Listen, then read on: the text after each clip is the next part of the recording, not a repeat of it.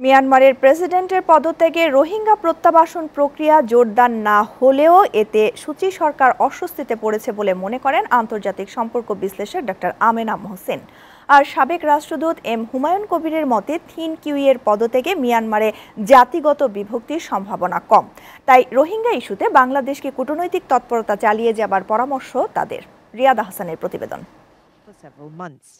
দায়িত্ব গ্রহণের দুবছরের মাথায় মিয়ানমারের প্রেসিডেন্ট থিন কিউয়ে গত বুধবার পদত্যাগ করেন।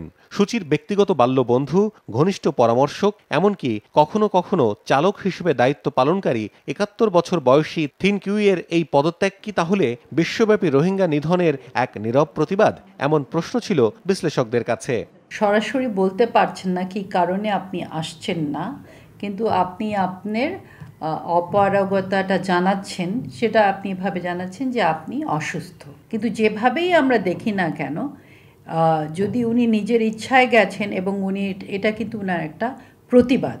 মিয়ানমারের ভেতর থেকে এই ধরনের কোনো চাপ বা এই ধরনের কোনো উদ্বেগ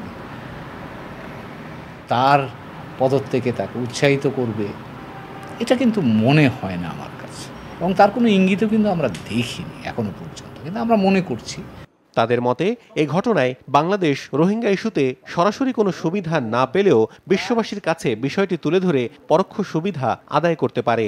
এটা আমাদের জন্য ইতিবাচক যে আন্তর্জাতিক সম্প্রদায় কিন্তু এই সমস্যাটার ব্যাপারে বাংলাদেশের অবস্থানটাকে জোরালোভাবে সমর্থন করছে।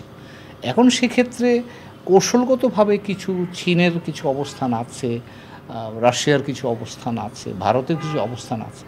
এই অবস্থানগুলো কিন্তু আমি বলব না যে বাংলাদেশের সাথে সবটুকুই সাংঘর্ষিক। এখানে কিন্তু আমাদের জন্য ওপেনিংটা আছে। বাংলাদেশের প্রথম থেকে আমরা বলছি যে এই ইস্যুটাতে খুব জোরদার আন্তর্জাতিক ডিপ্লোম্যাসিটা প্রয়োজন। প্রচণ্ডভাবে ডিপ্লোম্যাসিটা প্রয়োজন।